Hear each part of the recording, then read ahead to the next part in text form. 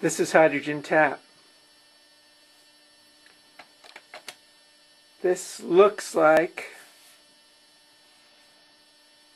this will be the final configuration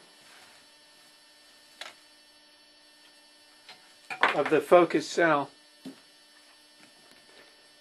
And as you're looking at it now, you can see there's four electrodes here. And two ports, hydrogen out, water in. One of the things that I've done, I found out that I had to do, is install one more port on the bottom that's for water out. What you're looking at is my demo rig.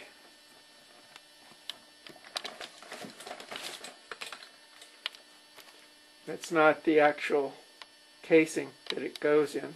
It's strictly a system I put together so you could look inside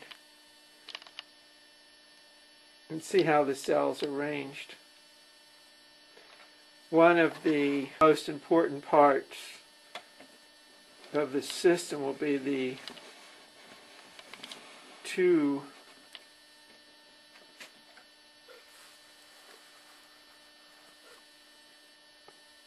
electrodes here that are actually measuring the amount of water that's in the cell. You can see the lower one here and then the higher one over there. This is the fill mark, which is just a little bit over the cell itself. If you look at it, can see about where it sits. And then the other plate, again stainless steel here.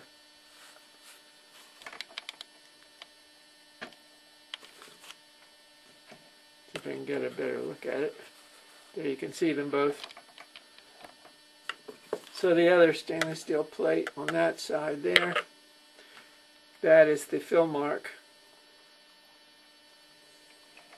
This system's working really well tested it out a couple of times. So what I do is I attach, actually I only have to attach one more cable to each of the, the transistors or relays to trigger it because the other is common to my electrodes on the top.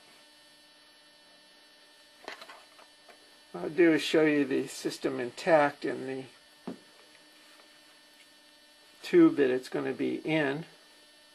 And I'm getting ready to or I will be sealing this unit.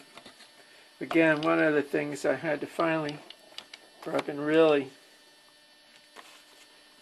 really uh, long decision on is this other port on the bottom which is the water output port. Notice it's got this the fittings on it so you can attach a hose to it I didn't want to put any any other holes in the body, but I just could not work it any other way. There has to be a port to take the water out in case you have to empty it out in case it gets contaminated. You can see it fits really snug in this case in the tube itself. If you look real close, you'll see they go right to the edge. And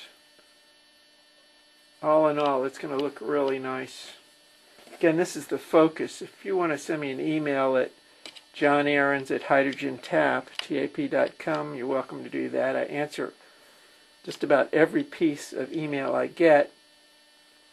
I have a computer by that I'm constantly looking at and checking.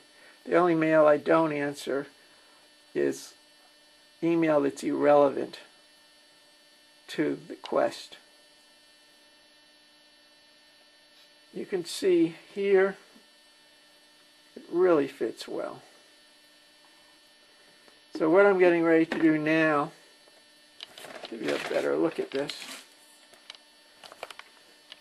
So essentially,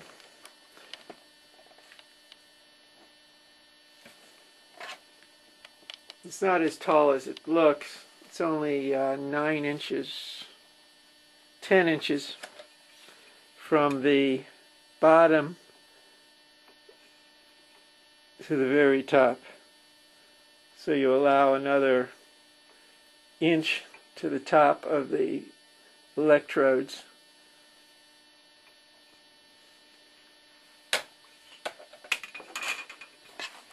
So the next step will be to put this into the test showcase system.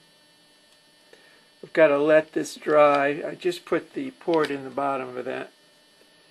That's got to dry and so the port on this the tube itself. So that's just setting now. It's going to take at least another 8 or 10 hours to set. That'll be overnight. So my next, which will be tomorrow, what I'm going to be doing will be to put electrolyzer in this tube here and we'll watch it and see the reactions that it's getting. I'm going to set it up as if it's running. And it won't be sealed, so I'm not testing the output yet. But once I'm satisfied with everything the way it works, and see that I don't have to add anything else, such as that water output port, then what I'm going to do is transfer it over to the other tube, the working tube. That's the white tube. And then I'll seal it and then we'll start looking at the outputs. Again, the spacing on this cell is 2 eighths of an inch apart. As opposed to 1 eighth that I've been using for everything. Again, I'm following my own formula for that.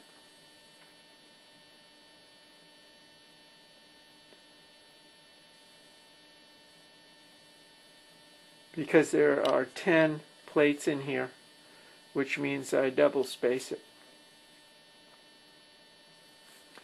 So, to, so tomorrow I'll be running the test on this cell, the focus and see how it performs the way it's set up and hopefully within the next day or two I'm going to start measuring the outputs which everyone's been after me to do.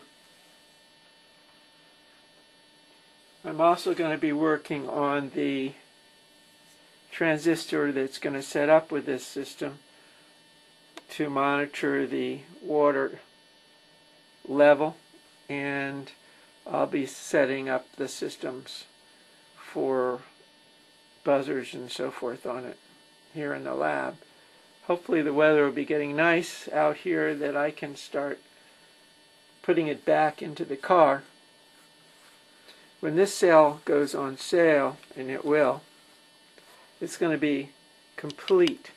That means it's going to have everything including the meters, the line, everything that you could possibly need. I'm sure there'll be some fittings for the car that I won't have. The other thing this will have to do, and I'm working on that now, is having some kind of mounting brackets on it. Haven't quite worked that out yet, but I will. So it's coming, actually it's not so slow. It's coming pretty fast now that I've got the cell design done. There are a few things I still have to tweak out, but I think you're going to see this is one of the major players in the hydrogen system. You can see the spacer here. There's going to be a lot of extras that comes with this cell. I'll tell you about it in the days to come. As you know, I've reached the 300th video which is really interesting. I never figured I'd be on the air this long. Oh, I hope I've helped a number of people. I'm getting a lot of good email on that. Appreciate that. You can go to my site, hydrogentap.com,